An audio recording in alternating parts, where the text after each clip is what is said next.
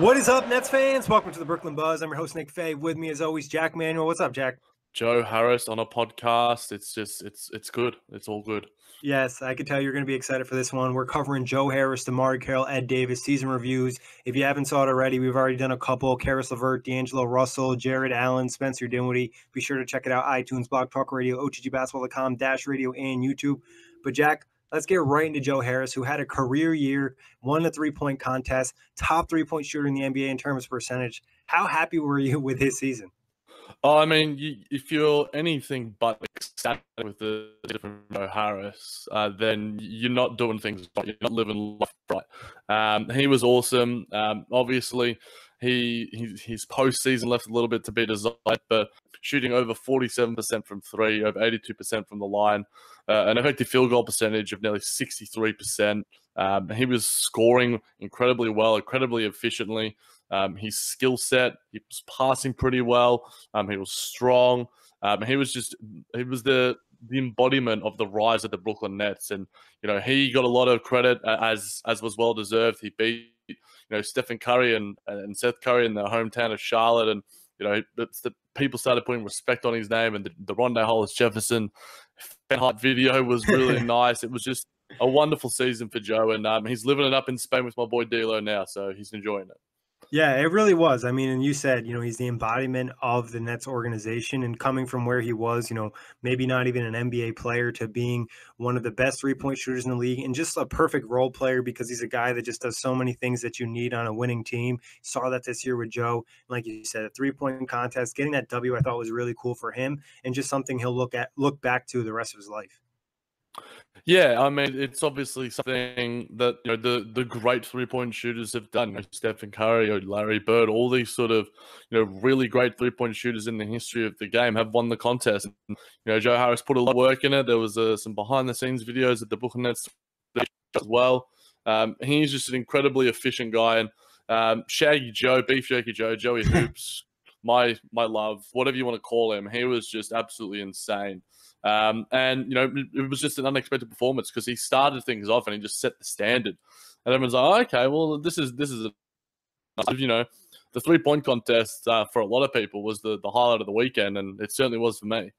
Yeah, and you mentioned it. It's like Joe started off really hot, and then like a lot of people expect him to get back to like you know his averages of last year, but he maintained and carried on throughout the season. I thought that was really impressive. But Jack, before we move on, really important question: What was your favorite Joe Harris nickname? Oh, um, oh, Beef Jerky Joe is pretty good. Um, yeah. I, I like. I'm just a fan of Joey buckets. Yeah. I like the simplicity. Um, and you know, my boy gets buckets. Yeah, it's a smooth one. Probably the definitely the worst one we've heard on Yes Network was Joe Dirt. yeah, that's um. You don't want to be associated with David Spader, you know, mid two thousands film. And you know, I hear it's a good film, but um, you know, David Spader hasn't done the does have the best of reps in Hollywood in terms of his acting uh, prowess. Yes. But Jack, favorite moment of Joe Harris this season? I mean, there's a lot, Nick. Um, Don't say every game. yeah, I mean, you know, looking at some, he, he, had some performances where he posted, you know, over 20 points. Um, you know, his, his shooting always was, you know, incredibly consistent. Didn't have like massive outings, but I, I think it probably was a three point, um, the three point win at All Star Weekend uh, it just seemed to be a really symbiotic moment and, and, and, a real sort of make your mark moment. And then, you know, almost like, you know, beyond that, you know, Joe Harris had some moments where he was down in his three point shooting because other teams started give him a little more credit. You know, uh, those scouting reports certainly must have increased for him. Um, but, you know, from the post slump, I, I think that it's hard to sort of single out, obviously, other sort of singular moments other than the All Star weekend because he had such a consistent and steady season um, that you know there were just lots of scoring outbursts where we would like five threes in a quarter or four threes in a quarter, and it's just like okay, well then this is what we need to get the offense going. Let's just feed Joe. Um, and obviously, a lot of the time, you know, he, he wouldn't force the issue either. It was just like he hit one and then he just kept hitting them. Um, and there were just countless nights against uh, in, in that sort of regard, you know, whether it was against the Cavs, whether it was against the Hornets, whether it was against, you know, the Warriors, who was pretty good as well. Um, uh, was it the Warriors where he had that block on Draymond? Yeah, that was. So um, I think that Warriors game was pretty uh, memorable. But yeah, a lot of memorable moments from my boy Joey. I think, uh, you like you said, three point contest is definitely the biggest one because it got him the general NBA buzz. But I believe against the Hornets, he had pretty much a game sealing layup or game tying layup, and that was really big. And that was a big clutch moment. And then also, Joe Harris had a lot of clutch threes in the fourth quarter this year. It wasn't like he was just hitting in one, two, and three. He had a couple moments in the fourth quarter, especially where he wasn't hitting all game, and he just picked it up when the Nets needed it the most. Yeah, and it was odd. You know, most of the time, you know, you look to to guys like you know D'Angelo Russell, Caris LeVert, and those sort of instances. But you know, when you want a timely bucket, you want to you want a sort of cool head. You you know, you go to Joe Harris, and you know, I think in that Hornets game, just looking at you know some of his top games of the season, you know, he made two game tying three pointers in the final ninety seconds, and he had five of eight from three. So, um, as well as that sort of you know layup that you were talking about, he's just um, he had plenty of those moments this season, and, and for a guy who you know was uh, not even in the league two or three years ago, who is now you know a starter on a playoff team, and obviously didn't have the best playoffs, but um, you know certainly I reckon we'll pick it up next season when he's back there again. But uh, a tremendous story, and you know a, a tremendous story just from him individually, not just the team. Yeah, for sure. But Jack, what's the ideal lineup for Joe Harris to be the best Joe Harris? Yeah, I think uh, you need you know, a floor general out there. Um, you need you need your D'Angelo Russell, you need your Kyrie Irving, then you need whoever. um, you need a fellow shooter. I, I, feel like he works well when there's an you know from um, you know past history, you know, an Allen Crabbe out there. Um, I, I, think that it's just the extra space that it gives him and the more open shots.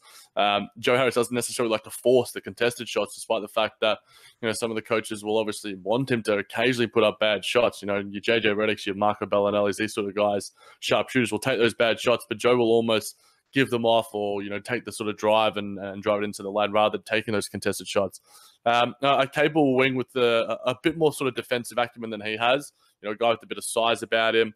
I don't think that that's a guy that we have right now.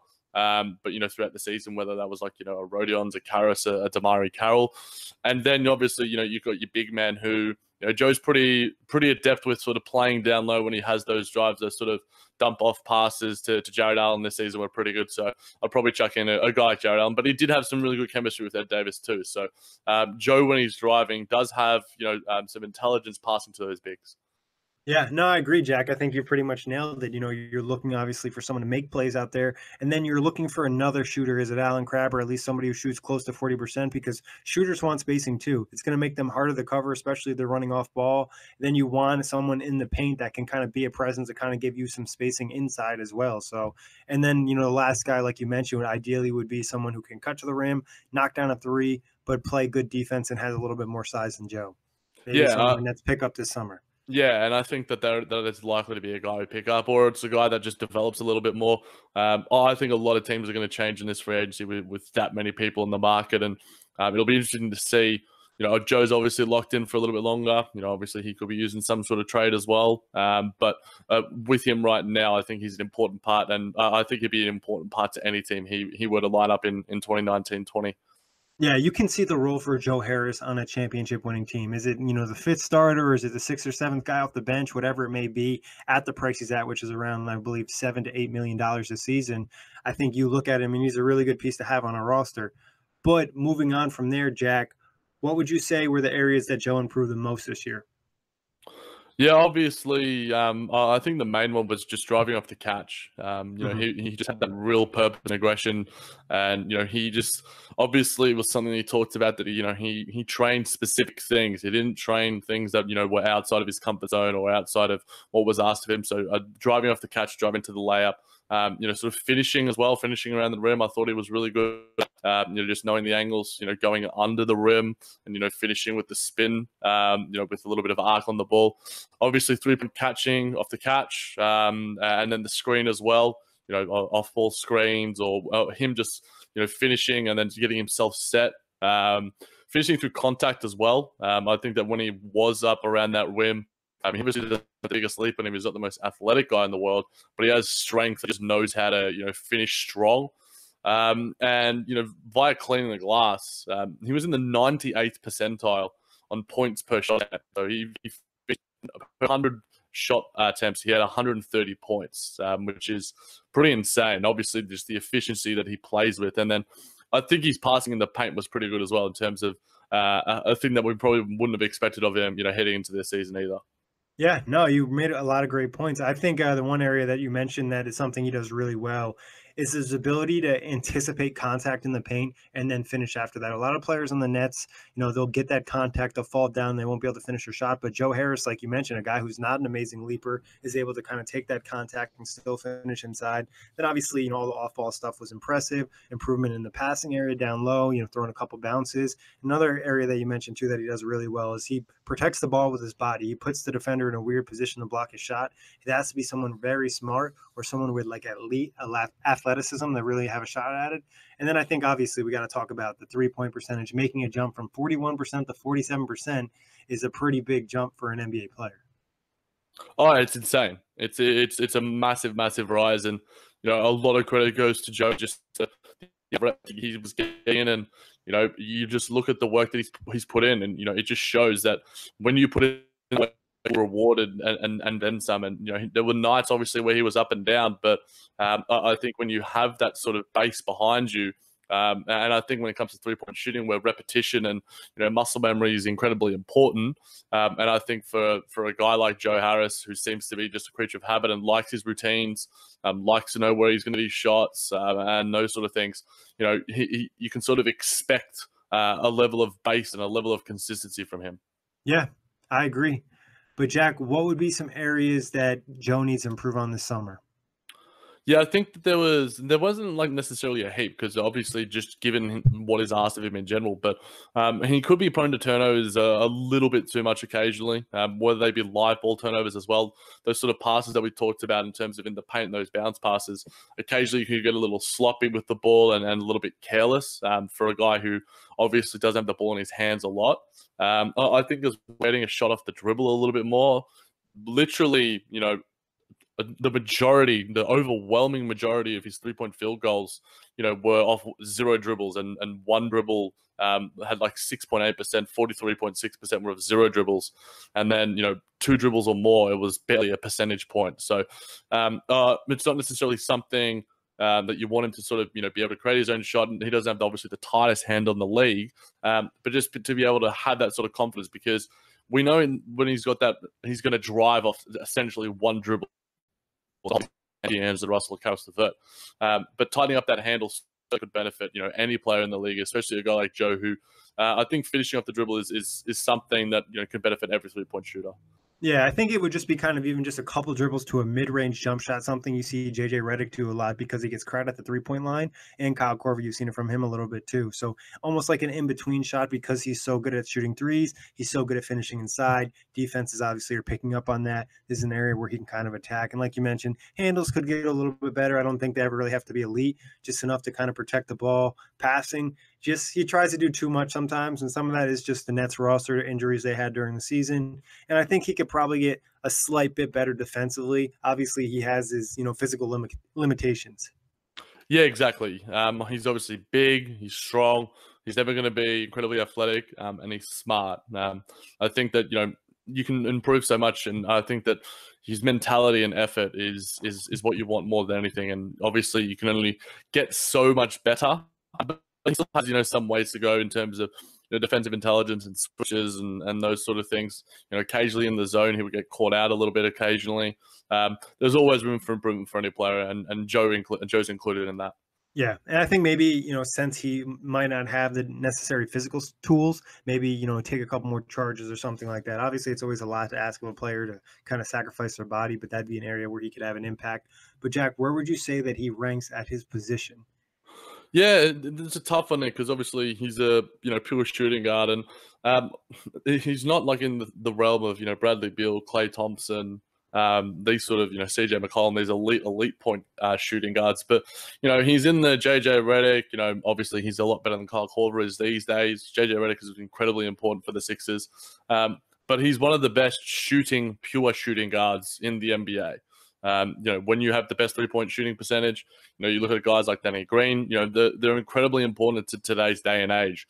Um, in, in, terms of overall, I'd say probably, you know, knocking on the top half, uh, maybe fringe top 10 shooting guard, probably a little bit higher. I'm obviously a, a bit higher on than most people, but I, would say he's a top half sort of shooting guard in, in today's league. But in terms of shooting and an individual skill set, if we're talking about individual skills, you know, as a pure shooter, he's, you know, one of the best. Yeah, I think as a shooter, he's definitely one of, you know, obviously the numbers back that up, one of the best three point shooters in the league. Uh, in terms of his position, you know, probably between like 20 and 30 because he does have his deficiencies. He could probably pop into up to 15, maybe, depending on what you're making the case of. But obviously, his role is to be a shooter and to be a role guy. It's not like he's expected to become some type of all star. Yeah, and he, funnily enough, you know, tied with D'Angelo Russell for the most minutes for the Brooklyn Nets. You know, a lot was asked of him, despite the fact that he is, you know, from his skill set and everything that he does, you know, a glorified role player. Um, but just given how important he is to this Nets system offensively, uh, especially in terms of the, you know our perimeter sort of um, emphasis, you know, he's incredibly important. And obviously, I don't think he would you know, lead in any other team in minutes um, in the league, but obviously it was only just a touch over 30 minutes. But um, I think that, you know, he'd be playing 30 minutes on, on a lot of other teams too. But the fact that he led that he tied for leading the team in minutes um, shows how important and, and how good he was for the Nets this season too. And I think a lot of that has to do with his consistency. You mentioned it earlier. Even when his shot wasn't falling, he was still having a positive impact on the team. And a lot of guys on the team that wasn't necessarily necessarily the case. So obviously, you give Joe a lot of credit for always working hard on off ball defense, whatever it may be. But Jack, this is kind of off topic question. How much would Joe benefit if the Nets were able to land, you know, a Kevin Durant or Anthony Davis or some type of star that kind of drew more gravity towards them? Yeah, I mean, you look at a guy like Klay Thompson, Nick, that sort of immediately springs to mind, and you sort of think about the role that he plays on one of the greatest teams of all time as a third or fourth option. Um, and he just sort of is finishing plays, isn't necessarily creating off the dribble a heap, despite the fact that he has the skill set and, and, talent to do so. And you know he's just getting these open looks. Um, you know he, it sort of allows him to play a, a, little more of a defensive role. Obviously, he's one of the best defensive guards and and, de- and perimeter defenders in the league as well. Um, so I think that you you look to that sort of mold where you just add extra talent.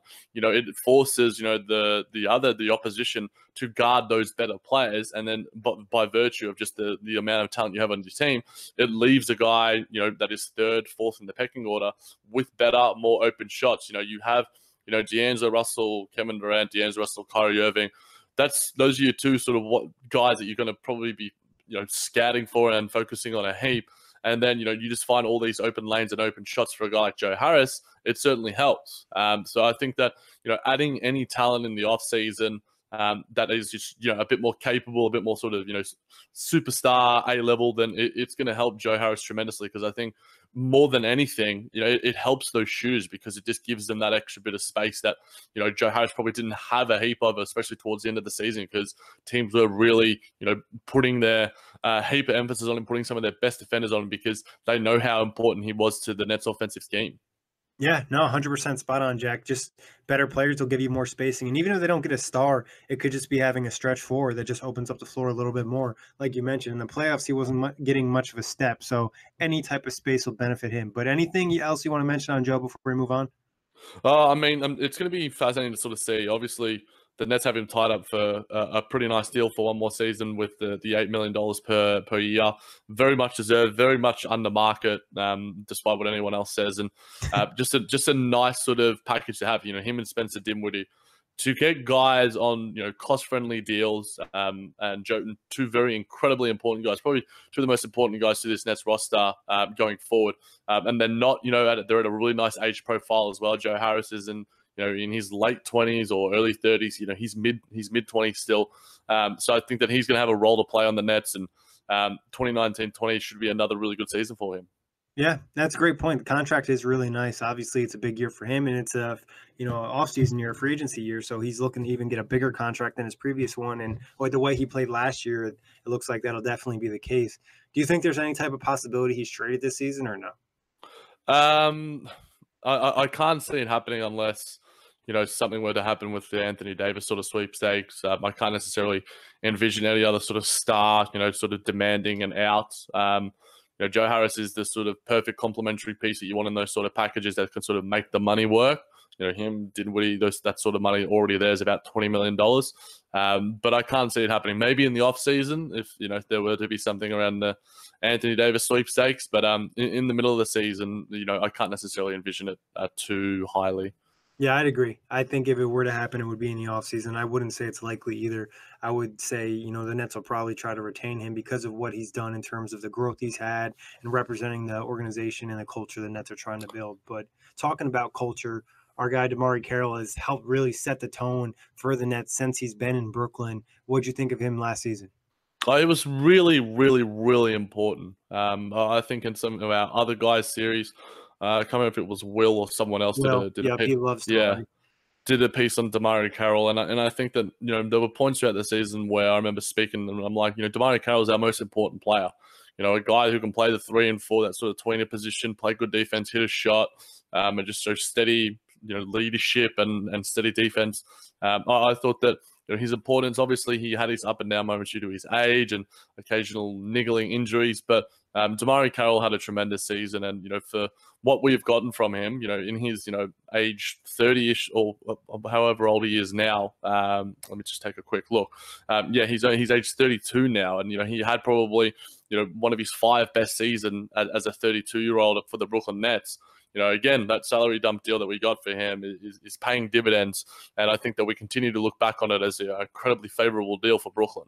Yeah, 100%. And not only on the court and what he's done for the team to help them win games, but off the court, helping set the tone, having that previous relationship with Kenny Atkinson, it was big. And I also think DeMarre, when he first came back from injury early in the year, he wasn't himself, and then he kind of started to find rhythm. And I think that helped the Nets play better basketball, you know, through the two third two thirds mark of the season when they started to go on that win streak or in January. You know, DeMarre started to be a bigger piece of the team.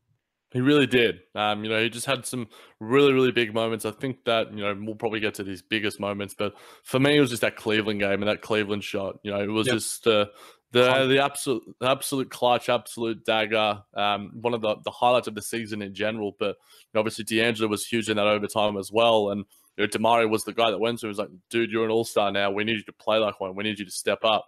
Um, and you want your sort of leaders to sort of you know put it on your guys, put it on your younger blokes who are sort of you know heading up in the ranks and, and sort of you know force them to you know put up or shut up. And you know, DeMarre sort of you know didn't necessarily just do the talking; he also put up himself, hitting that absolutely massive shot. It was just uh, one of the shots of the season. You know, I'm pretty sure that that was like one of the photos of Barclays and stuff, and you know him getting picked up. Um, DeMarre Carroll, you know, not just a, a consummate player, but a consummate teammate as well. Yeah, 100%. And you could tell by the way the team reacted when he hit that shot that everyone was there to pick him up and they're all super hyped. So obviously that was probably his biggest moment of the season. Any other moments stick out for you in terms of DeMarre? Yeah, I think that it, it was just so consistent. It's hard to sort of you know just sort of pick out you know just one or two in general. Um, you know he was pretty good in the Grizzlies game as well. Um, that sort of you know heartbreaking sort of loss in, in late November. Um, and and then again you know he was pretty good again in against the Rockets as well. Um, in that sort of comeback win where he had you know 22 points and five rebounds and hit a heap of threes too. Uh, obviously that was more Spencer's game, but he was he was great there. Um, so I think it, there was plenty of sort of very steady, consistent performances from DeMarre Carroll, and you know it earned him plenty of kudos from uh, from our guys at OTG, especially Will. Yeah, no, I think that Houston game sticks out. He hit some big shots, but if I'm not mistaken, he had some like clutch, you know, just veteran type moments at the end of that game that helped the Nets, you know, get that lead. Obviously, it was Dinwiddie's game, like you said, but he had some big moments in there as well. Then uh, during that Nets blowout against Dallas, he was pretty big. But obviously, you got to mention the outfits with him because he has major swag. True that swag daddy himself. So obviously, he's had an influence on the team in that aspect. But Jack, since you know DeMarre's a little older, like you mentioned, he's 32. We're not going to really talk about improvements he made. But what what what did he really bring to the team this year that helped them win games?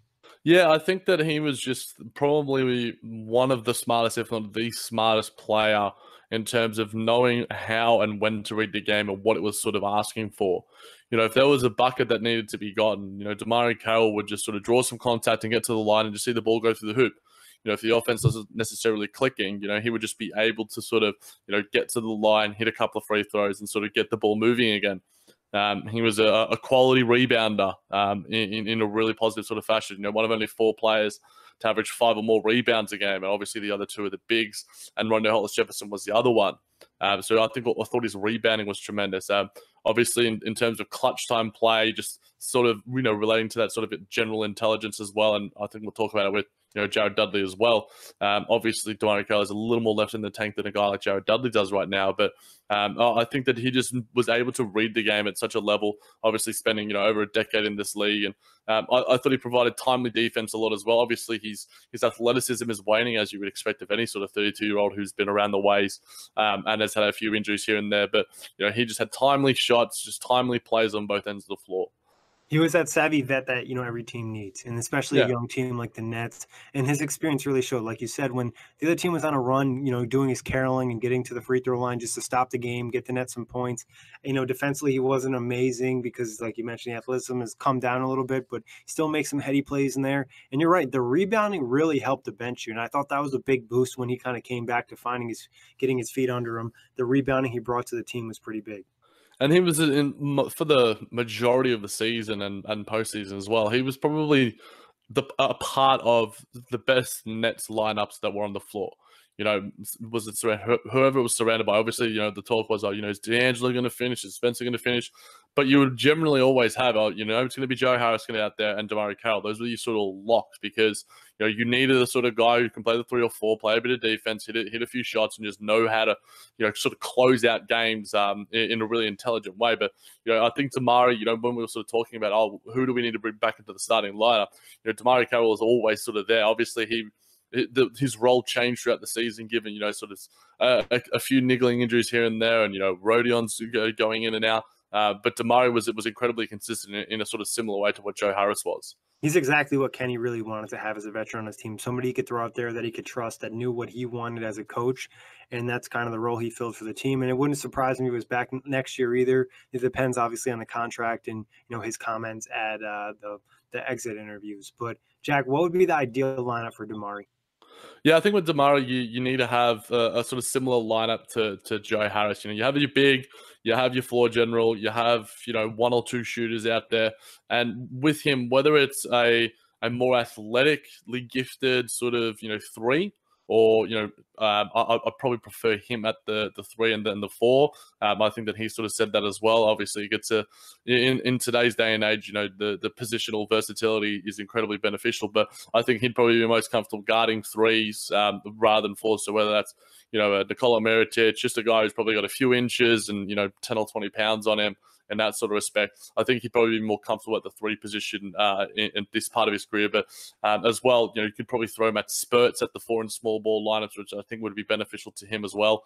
Um, no, I think that he's still got a couple of years left in this league, whether it's on the Brooklyn Nets or somewhere else. Yeah, I think uh, I think it depends on the style of basketball you play because I think on some teams his best position is a four, and other teams the best position position is a three. But it really just matters who's along his side, and just in that role player type role, like you mentioned, maybe Joe being the elite spacer out there, and DeMarre being the other guy that kind of provides a little bit of defense and a little bit of three point shooting. So it'll be interesting to see where what happens with him this year in terms of his role, whatever team he's on next year. Yeah, you don't want him to be the the best anything out there. You don't want him to be like your your your, your knockdown shot maker. You don't want him to be your best defender out there. But he can easily be your second or third best guy um, and can guard some of the better guys out there. It's not to say that he can't guard, you know, for, for a few minutes at a time, some of the better players in this league, the better wings in this league. But you don't want that for, you know, eight to eight to 10 minute stretches. You want it for, you know, to from three to six minute stretches at the, at the very most. Um, he still has a lot to give in this league. And um, oh, I think that, you know, he's going to be suiting up somewhere, um, whether it's in, in Brooklyn, uh, like you meant, like you alluded to with the sort of exit interviews and the Instagram post. Um, I, I think that he'll, he's got a, he's got a future um, however long it is.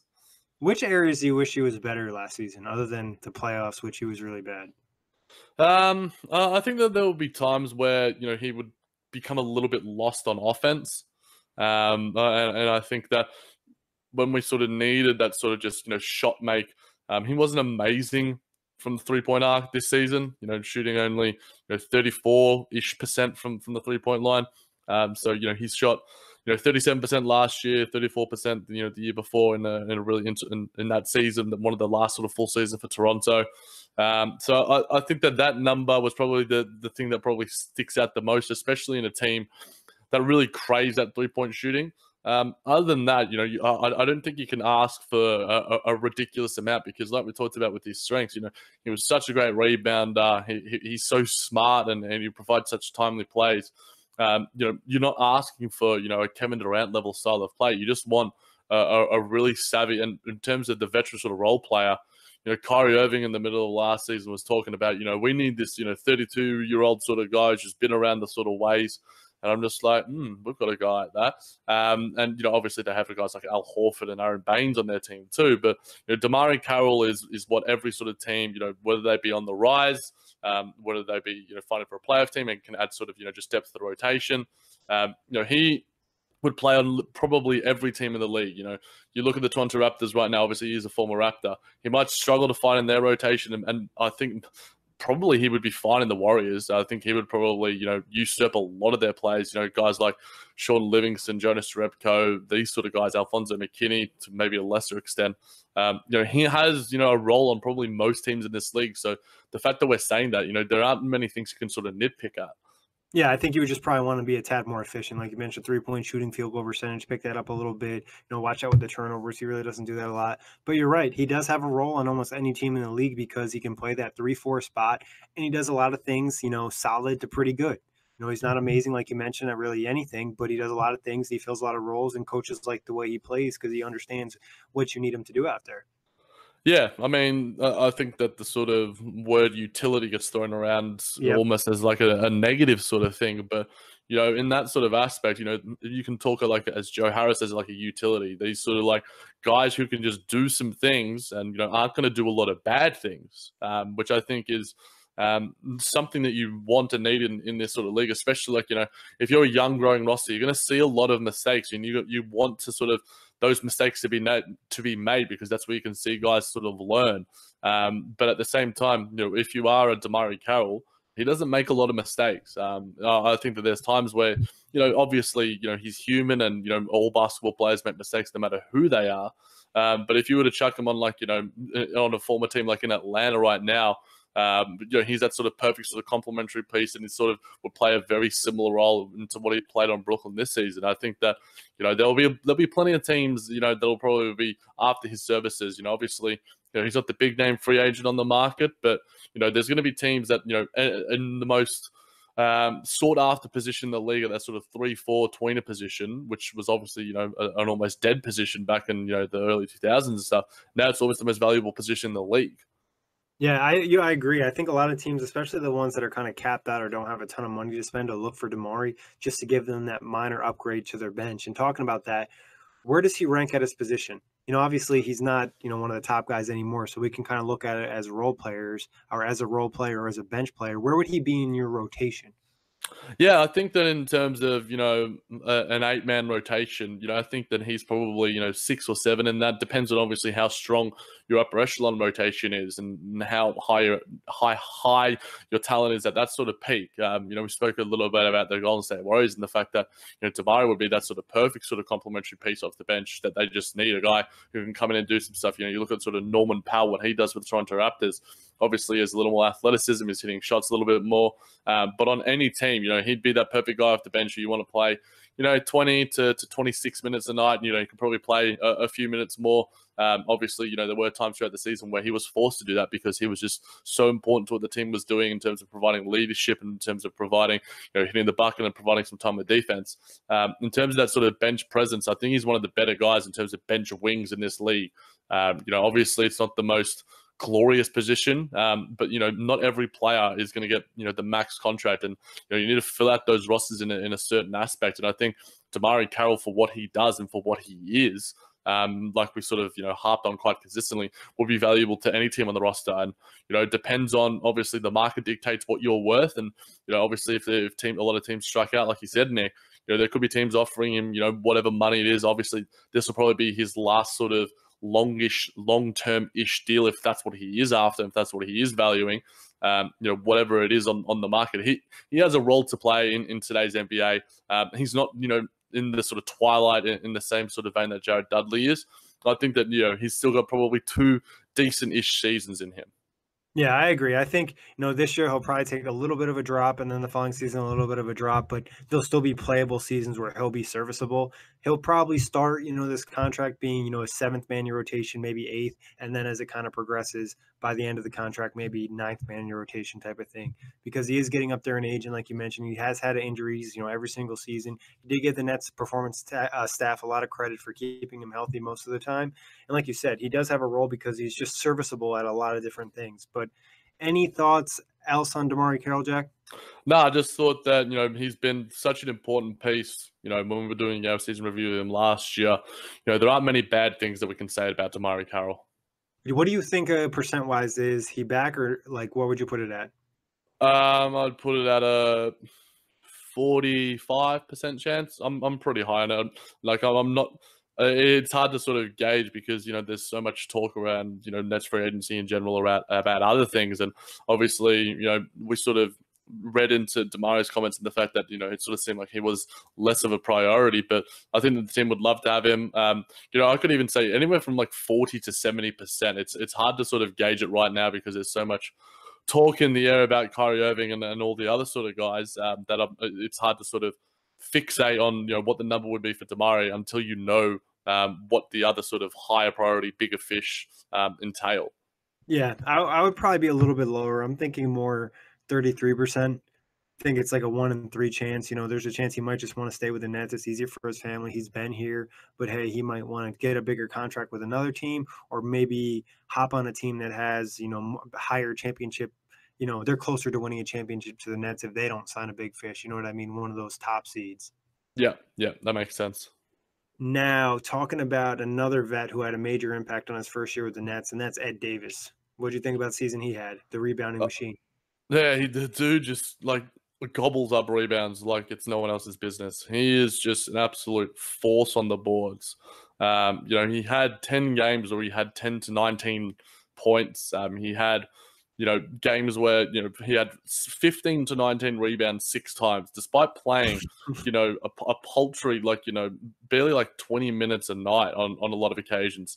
He's like per 36 numbers when I get to his strengths are just ridiculous. Um, and I think that he he helped despite the fact that a lot of people probably won't give him credit, he helped Jarrett Allen in a lot of lot of ways, and I, think he showed him not only in just obviously being a presence there and you know being able to communicate with a guy who um, knows how to rebound probably almost better than any other guy in the league, but also just setting the example for the you know how to show that physicality, how to set those screens, you know how to roll, how to show a little bit of toughness um, when it's needed.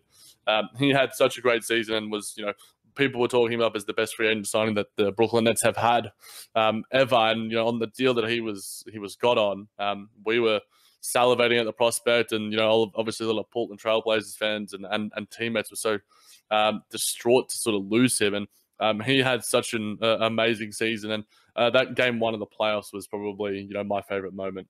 Yeah, I agree. I think game one in the playoffs was a big moment for him. I think it's just a consistency along the entire season. He had a couple really big uh, dunks on players or just going out there and snatching the rebounds. And, you know, we were excited when they signed him in the offseason, but he killed those expectations. I don't think I couldn't imagine him having the season he had for the Nets. He was just a perfect backup big. And like you said, he helped Jarrett Allen on the court. He also helped him off the court by setting the example and kind of giving him a different mentality. You know, you heard a lot of quotes from him encouraging Jarrett Allen and trying to give him confidence. Yeah, and I, and I think that that's what you sort of need, and from you know a guy who has done this around the league, has played in playoff games, and has played with some of the the, the best players in the league, and, and guys like CJ McCollum and and Damian Lillard, to sort of get that confidence, to get that knowledge from a guy like him, it, it's invaluable. A hundred percent, and hopefully, you know, if he's not even back next season, Jarrett Allen can kind of take some of those things and turn it into his game a little bit more. But we mentioned biggest moments, so we'll kind of go on from there. I guess what would be the ideal lineup for an Ed Davis? Yeah, obviously, you know, Ed Davis has no real, you know, offensive game to sort of spread out to the perimeter. You know, he doesn't really have a jumper. Um, so you want sort of guys who can hang out on the perimeter to sort of give him that space on the inside and feast. Um, and he's such a, a, a really physical screener gives his guys like a lot of open looks and gives him guys those little bits of open space. Um, so I think that you know you want as much shooting as possible, and then obviously you know you want a uh, a D'Angelo Russell, Kyrie Irving sort of type. You know, Kyrie Irving with Ed, Ed, Davis in the pick and roll would be pretty sweet.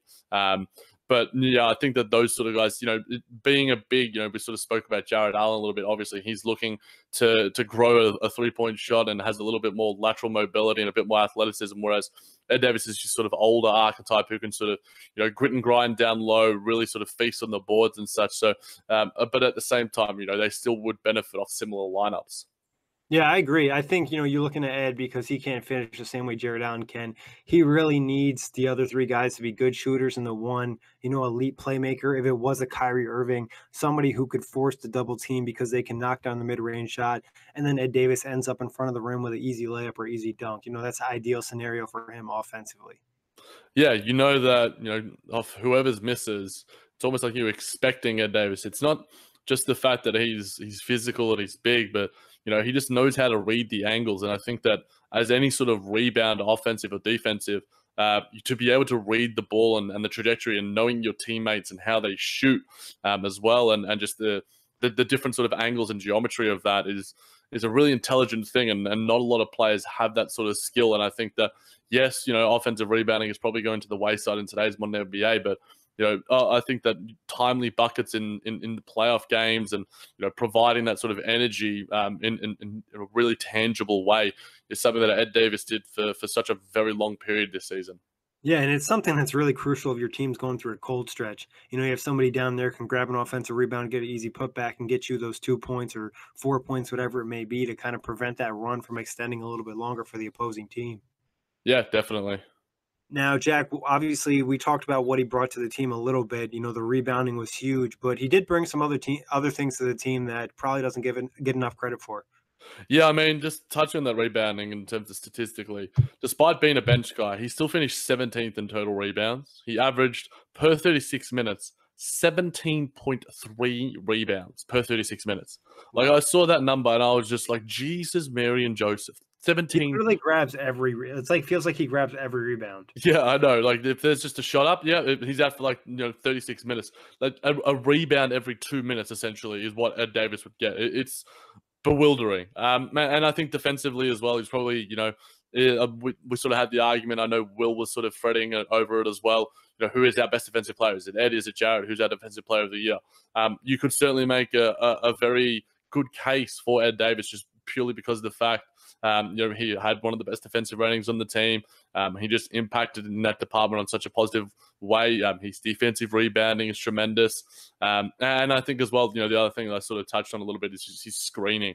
Um, I, I would love to sort of, you know, go into some really deep sort of st- statistics in terms of like screen to assist ratio. I think that he would certainly be up there. And in terms of guys around the league and in, in terms of guards and stuff, you know, you don't want to walk into an Ed Davis room because the guy is just big, solid, and he's strong. Yeah, I think that's just pretty much other than the rebounding. It's just Ed Davis does a lot of small things that helps your team win games. Setting good screens on and off ball really just gets space for the offense, especially if guys are having trouble separating. Having somebody out there who can literally set a brick wall up is big for a team, especially with the offense the Nets run. And then defensively, we talked about a little bit, like you mentioned, he's not you know an elite athlete, but he's a very smart defender when it comes to rotation, using his strength and using his body and you know using that verticality. Yeah, and he's decent, decent enough in the post. Obviously, you know, play against one of the best defend, but best big men in the league in, in Joel Embiid. He was probably our best defender on him when he was healthy. Obviously, that wasn't for very long. It was for about a game or so. Um, do, you so obviously, do you think the Nets win another game in the Philly series if Ed Davis is healthy for the rest of the series?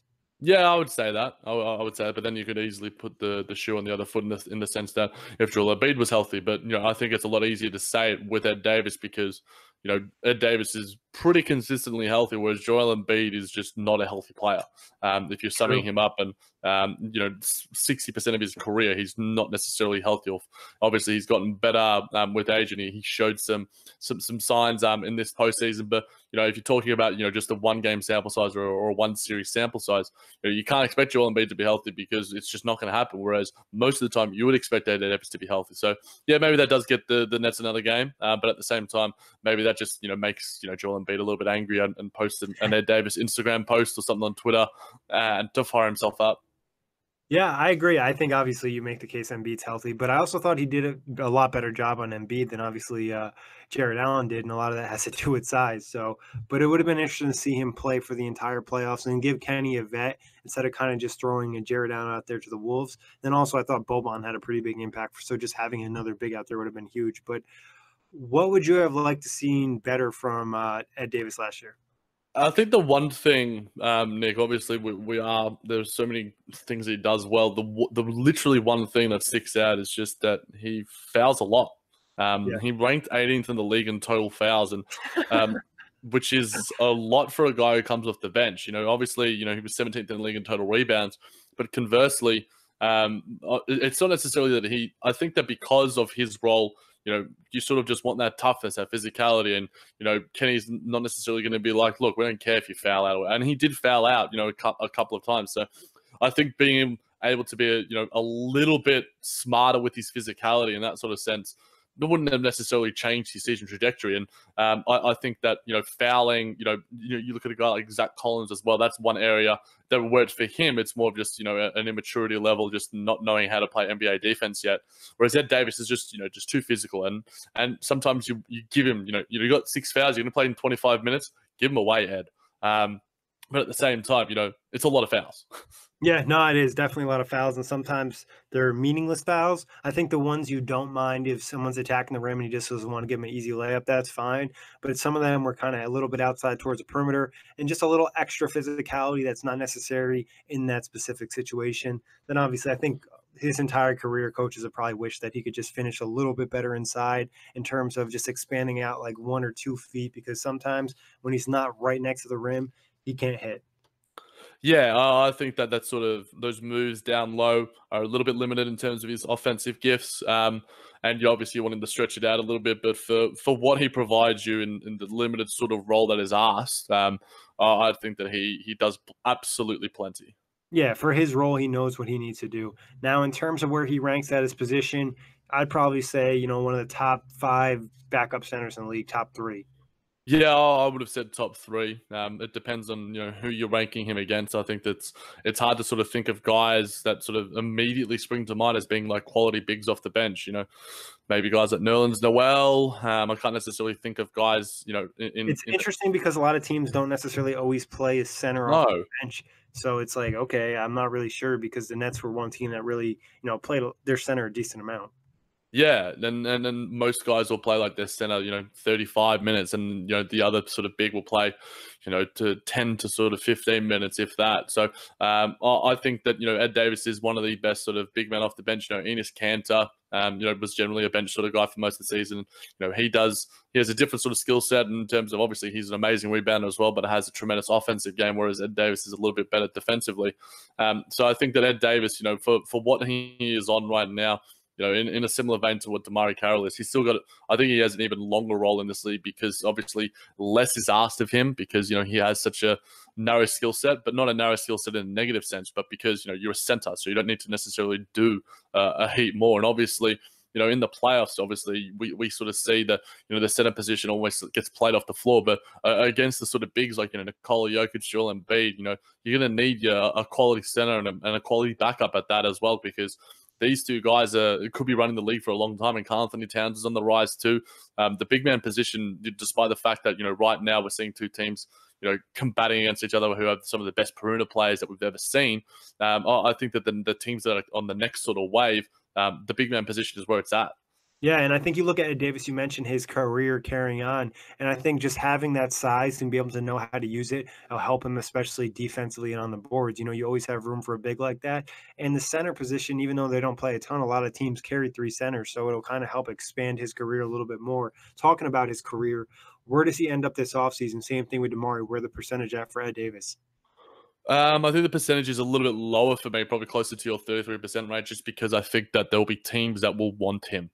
Um, and yeah. I think there'll be teams that'll give him a little bit more money. Um, it was sort of like a, a one year sort of make good deal, um, so to speak, because you know he sort of proved himself.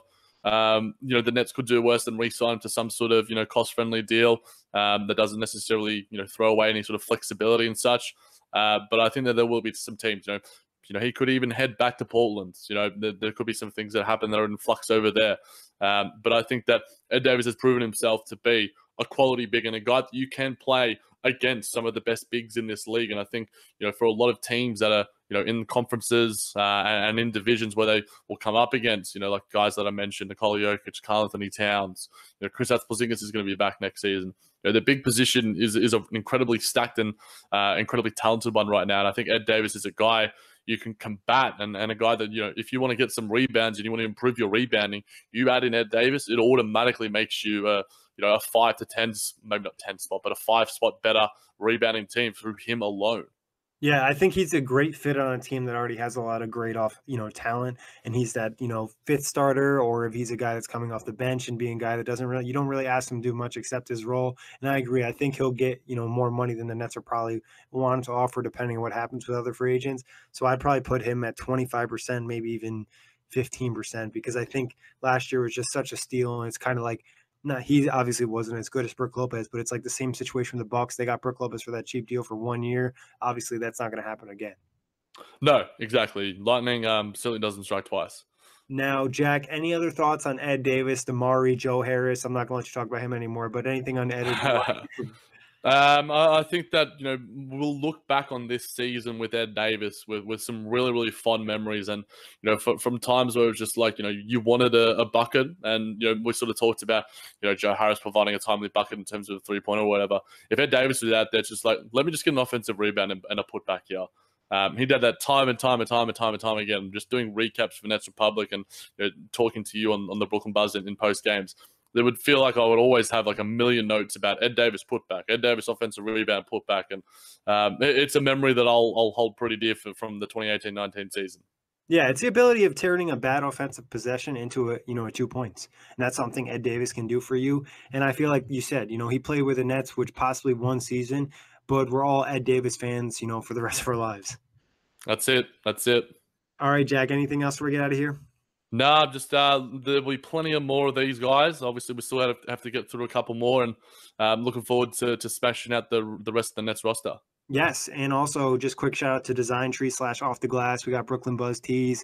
We're also adding some tees for the finals. We just dropped the Kawhi one, the Cyborg, so check that out. And it's always a pleasure, Jac.